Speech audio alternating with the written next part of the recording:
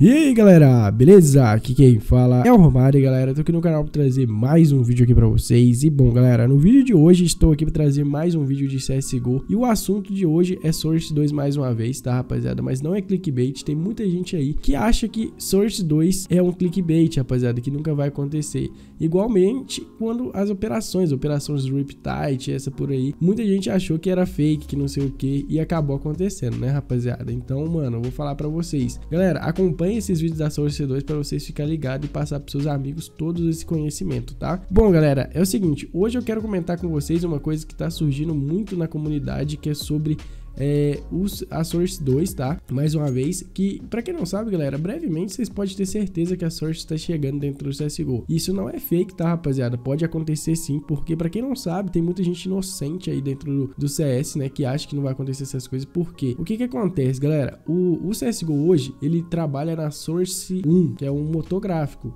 Pensa só que você tem um carro aí, aí você tem um Fusca, mas você tem um, um carro mais novo, um Gol por aí, entendeu? Hoje o CSGO roda no Fusca, entendeu? Mas depois ele vai querer partir para um, pra um carrinho melhor, certo, rapaziada? Principalmente com a atualidade dos novos games aí, tá? Só jogar um top, só jogo que tá ficando, chegando para inovar no mercado, Call of Duty Azone, gráfico top, etc. Mas o CSGO, eu acho que ele vai querer manter um pouco da essência, rapaziada. Como assim a essência? Tipo, ele não vai querer ficar colocando muito gráfico realista ou coisa do tipo, porque também, senão vai até estragar o jogo. Mas é isso que muita gente não entende e acha que é assim. O CSGO, a Source 2, não vem com o intuito de ter muito gráfico, não vem com o intuito de ter muita é, coisas pesadas. O que vem com o intuito é melhorar o desempenho do CSGO. Porque para quem não sabe, galera, tem muito leigos, tem, eu tenho certeza, comenta aí se você sabia sobre é, esse assunto. Se que o CSGO hoje não utiliza muito o, a placa de vídeo, e sim o processador, rapaziada. O CSGO hoje, ele tem como base de usar mais o processador do que a placa de vídeo, por, justamente pelo motor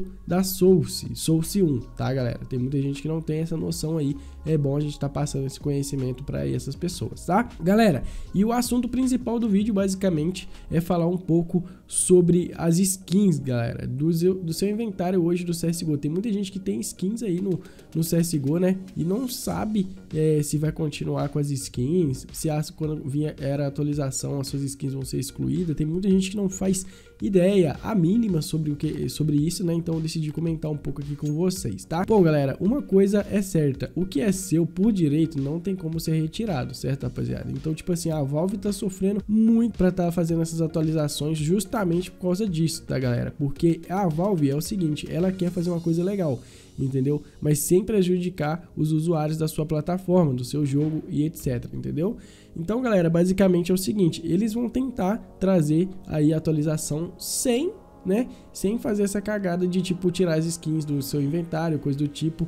Pode acontecer que venha ter bugs, alguns no início assim, né? Mas depois vai ser corrigido com certeza, tá, rapaziada? E não vai ter, ninguém vai ficar com, ninguém vai perder skin, tá, galera? Ninguém vai perder skin, a não ser que você mande para outra pessoa. O mercado é bem clear, bem limpo, tá? E eles estão tendo uma grande, eu tenho certeza que a dificuldade de passar as skins para Source 2, mano, eu, galera, velho, vocês, mano, vocês não, não é possível, rapaziada, que vocês não estão ansioso para que chegue a Source 2, porque a Source 2 vai vir arrasando, rapaziada, vai vir arrasando. Mano, vou trazer mais conteúdo para vocês. Tem muitas dúvidas que a rapaziada tem. Se você tiver alguma, comente aqui abaixo, tá? E é isso aí, rapaziada. Eu vou ficando por aqui. Espero que tenham sanado algumas dúvidas de vocês. Deixa o like, se inscreva no canal. Um grande abraço, valeu, falou e fui!